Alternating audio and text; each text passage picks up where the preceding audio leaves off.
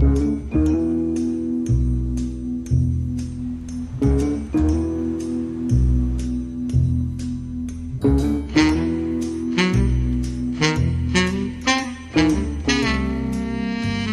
people think of paintings by great artists such as Vincent van Gogh, they'll often think of these paintings just as images.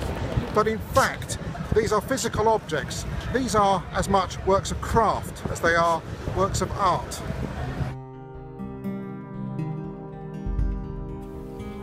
When people talk about the old master paintings, they'll often talk about why they were painted and who painted them and when, but they won't often talk about how they were painted.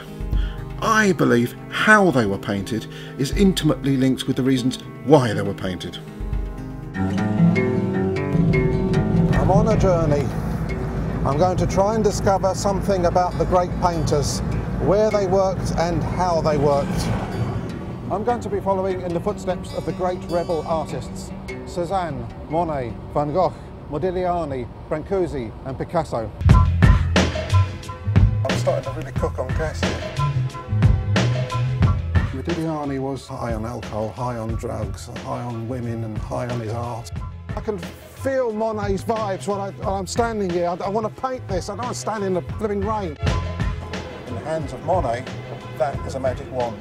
This is how Leonardo would have been taught. All small-scale pictures, or nearly all of them, were painted with tempera paint. An egg tempera paint is a very simple medium. An egg, for which you need a free range egg, A free range egg, yes. In fact, there was a writer in the 15th century called Cennini who said that the best eggs are country eggs, especially for painting country type people with ruddy complexions. As you might guess, I'm an artist. Yes, we can see, we can yes. see. Right, well, um, I wonder if you can help me. Because I'm going to try and imagine that I'm back in that period yep. doing an officially commissioned work of art as if I'm an official war artist. Peter, if your hand is like that, that sort of thing. This kind of thing, that's it, go for it, right, right okay. okay. Right, thank you. Just hold that for about two hours and I'll be done. Oh. This is a, a fabulous image. It's, it's, so famous, it's almost invisible. I mean, those hands, you know, it's just absolutely extraordinary because it's, that's like the smile on the Mona Lisa. That's the most famous bit of the whole work. Oh, dear.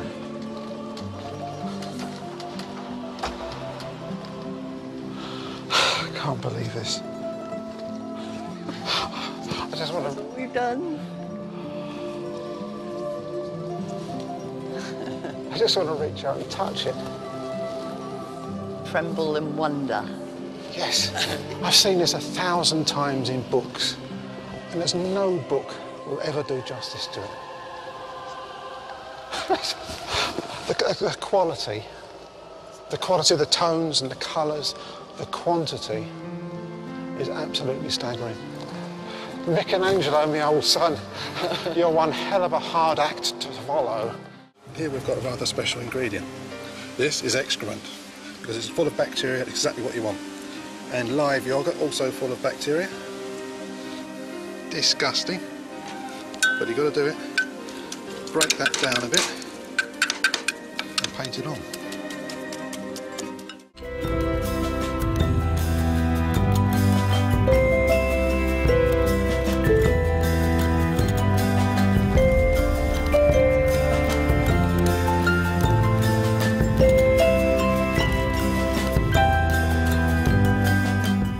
Wow. That is my impression of that. And you stuck throughout here to using the Roman technique of Yes, uh, this is all tempera. done all done in tempera paint. This is what they would have done. This is a rather bad continental picture of the 1890s, but what I want it for is mainly for the back and this shows that it has an authentic maker stamp. This doesn't feel right as one artist destroying effectively the work of another artist. So now we have a canvas as Monet would have expected it to look. Now we have to do the difficult bit.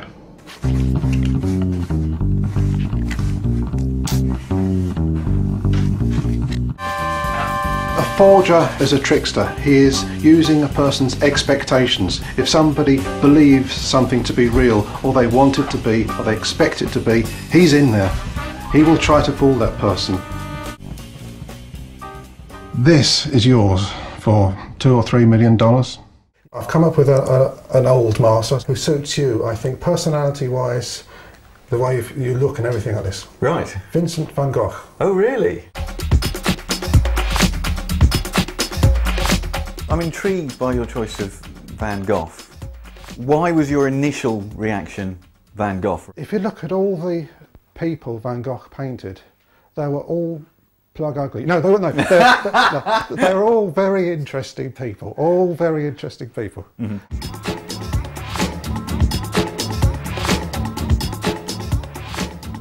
Now you're going to be wondering, what am I going to make you into? This is fantastic. This is why I became a landscape painter. I mean, look at it, the interaction of the sky, the water, the land. It's the way these things buzz off each other. That's where you can make some interesting works. I'm trying to draw something that's picturesque. Now, picturesque is a dirty word nowadays, but in Victorian times, for example, it actually meant trying to search for something that was beautiful in a very particular sense. And here they are. Vincent and his beloved brother Theo. Oh, look at that. Sunflower. A withered sunflower. Can you think of anything else that says more about the tragedy of this man's life? So bloody sad. His legacy will never ever wilt. His art will be forever. It's cliche, but it's true.